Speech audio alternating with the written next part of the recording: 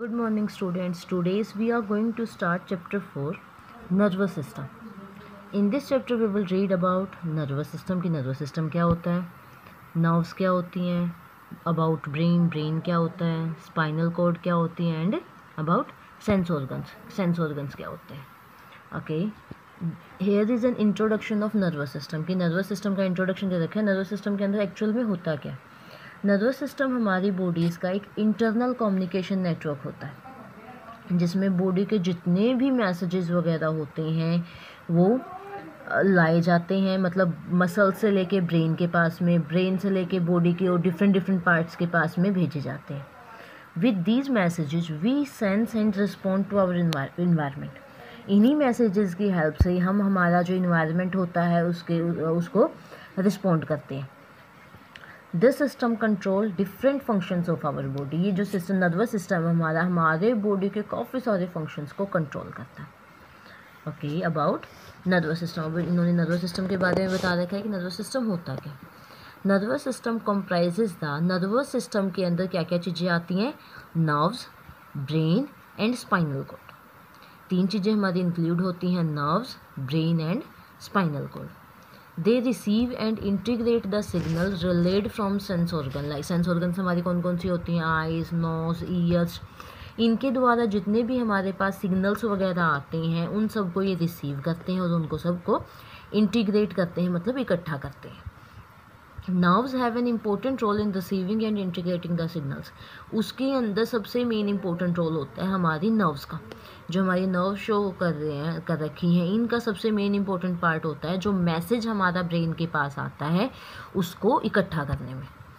This system also control unconscious function such as heart beat and breathing ये system जो हमारा nervous system है, ये हमारी ब्रीदिंग को, हमारी हार्ट बीट को, जो कि अनकॉन्शियस फ़ंक्शन है।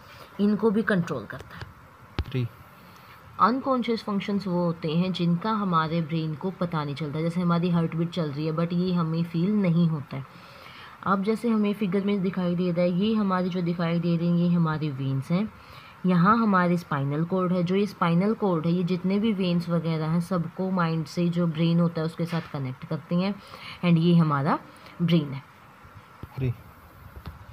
नर्व्स अभी हमने नर्व्स को देखा था। Nerves are thread like structure spread throughout the body जैसे कि हमने फिगर के अंदर देखा, जो नर्व्स होती हैं, बिल्कुल धागे जैसे स्ट्रक्चर्स होती हैं उनके। एंड हमारी एंटायर बॉडी के अंदर थ्रू आउट द बॉडी हमारी नर्व्स फैली हुई होती हैं। They carry and bring message to and from the brain nerves का क्या वर्क होता है कि जो हमारा ब्रेन मैसेज देता है या जो ब्रेन के पास मैसेज पहुँचाया जाता है, उसको कैरी करने का काम करती हैं हमारी nerves nerves carry message from the body part through the spinal cord to the brain और वो मैसेज जो होता है, अगर नर्व्स पहले नर्व्स मैसेज कैरी करके लेके आती हैं स्पाइनल कोड के वो पास मैसेज आता है और फिर स्पाइनल कोड ब्रेन के पास मैसेज सेंड करती हैं। They also bring message from the brain through the spinal cord to the body parts और ऐसे ही अपोजिट भी होता है, फिर ब्रेन स्पाइनल कोड को आंसर करता है और फिर स्पाइनल कोड वीन्स के द्वारा द्वारा अलग अलग बॉडी पार्ट के अंदर मैसेज को पहुंचाती हैं।